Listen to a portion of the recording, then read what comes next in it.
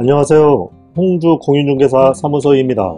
오늘은 충남 홍성군 장국면 월계리의 임야를 소개합니다. 먼저 계략적인 정보를 알려드리겠습니다.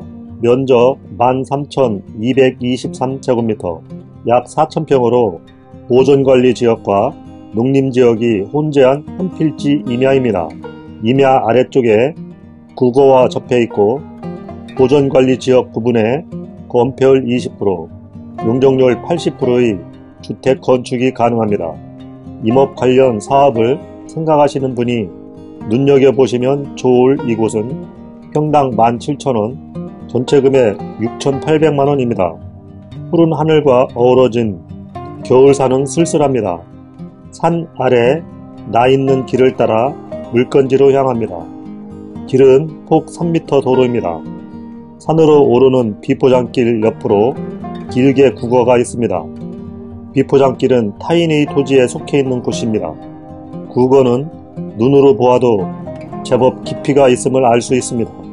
산과 접한 국어의 폭은 약 13m 정도이며 국어의 깊이는 제법 깊습니다. 이곳의 교통 등 주변 여건을 살펴보겠습니다. 마을 초입의 버스 정류장은 조금 멀군요. 도보 30분 정도 거리이고요. 초등학교와 면사무소가 있는 면 소재지는 자차 15분, 홍성 구운청, 역, 터미널, 중고등학교 등 홍성 시내는 모두 자차 20분 내외 거리입니다. 산으로 오르는 길 앞에 작은 절과 소박한 주택 한 채 있는 조용한 곳입니다. 주변에는 산소 다소 있습니다. 산 아래 보이는 축사는 530m 정도 떨어져 있으므로 큰 영향 없습니다. 산이 그다지 높지 않은 것은 화면으로도 나타납니다. 조용하고 한적한 곳입니다. 경사 완만하고 잡목만 있는 곳이니 사용하고자 하는 방향으로 전환하기 좋은 환경입니다. 임업용 산지로 개발할 곳을 찾으신다면 적당한 곳이 될 것입니다.